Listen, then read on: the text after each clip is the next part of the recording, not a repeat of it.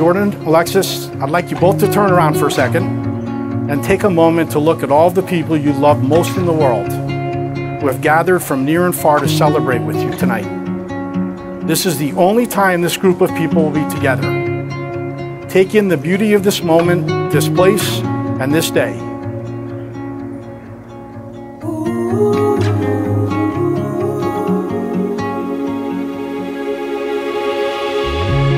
Alexis, over the course of the last 2,159 days together, your impact on my life has been immeasurable. From our first encounter, when I saw a picture of you and begged your friends to invite you over, to today, when we will officially become husband and wife. The best word that I have to describe the feeling is lucky. Lucky to have been introduced to you. Lucky that I had the privilege of getting to know you. Lucky that you ultimately fell in love with me too. And lucky to get to watch the most beautiful bride I've ever seen walk down the aisle toward me. When Alexis asked me to officiate the wedding, I was deeply honored and touched. As I sat and thought over the last several months about the two of them, I realized and appreciated what a special relationship the two of them really have, and how each of them is so committed as they plan to spend the rest of their lives together. Alexis has always been focused, as she always has excelled in high school through college and now med school. Jordan, while trying to establish and build an engineering career of his own, but always willing to support Alexis in every way making personal sacrifices and committing to relocate wherever Alexis had and will have, so she has the best opportunities to advance in her career. Oh my! I can't believe how gorgeous you look. Thanks. Dear husband, finally writing those words is an indescribable feeling. Even with all of the anticipation and nerves of today, I've never felt more confident than I do right now, vowing to love you forever. Taking it back to the first time we met, more than six years ago, little did I know every piece of my life had changed. Those next few weeks were a whirlwind of you constantly sweeping me off my feet in ways I never knew possible. You have the kindest heart I have ever known, and the way you were able to portray that to me so quickly, I will never get over. I still constantly relive each interaction we had and how from the very beginning you proved I could put all of my faith and trust into you, with only even knowing you for a few weeks. I knew this was special, and I knew I had to call you mine. I fell in love with you faster than we finished our favorite sitcoms. I remember desperately waiting for you to say those three words and how all I could think about was what they would sound like. Still to this day, it is my favorite sound. As I made my life plans and goals, you were always the constant.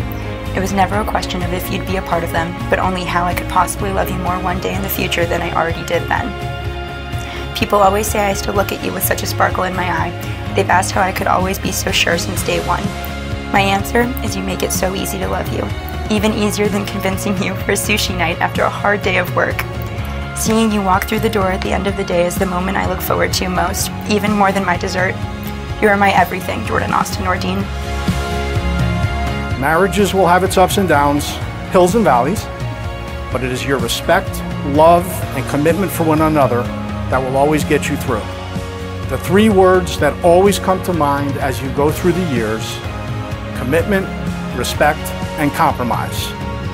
If you remember and apply these three simple words, nothing will come between the two of you, no matter how difficult things may seem. There's no doubt in my mind that you are the one I want to spend the rest of my days with. As your husband, I vow to strive every day to become the man that you deserve. I promise to always be your support system. I promise to be your protector and be by your side no matter what. I promise to be your own personal chef. we know what happens when you get hungry. I promise to get you that golden retriever puppy that you so desperately want. And most importantly, I vow to honor you, cherish you, and love you unconditionally for the rest of our lives. You look so handsome. Do you like it? Brother. I have never loved anything or anyone the way that I love you. Thank you for supporting every choice I make and becoming my guide when life's roads take an unexpected turn. I vow to always love you, always respect you, and to cherish every moment we spend together. I vow to keep that sparkle in my eye for as long as I'm lucky enough to stare into yours. I vow to always make you my priority, no matter how hectic life may get. I vow to never let you forget how lucky I feel to get to call you my husband and to be called your wife. Now, let's do this thing. Yours always, Mrs. Nordine. So Jordan has many qualities that we love about him. We're very proud of him. Um, but probably one of the most is perseverance. You know, pretty much his whole life, anytime he put his mind to something, he accomplished it. And we've always been very proud of that. I now pronounce you husband and wife. You may kiss the bride. When you send a child off to college, you know, you really only wish for three things for him, basically.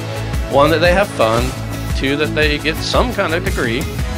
And three, that they come home in one piece. And Jordan accomplished the first two with flying colors. But the third one, not quite so much. When he left Orlando, he didn't leave in one piece, he left in two. And to, today, those two have become one. Congratulations.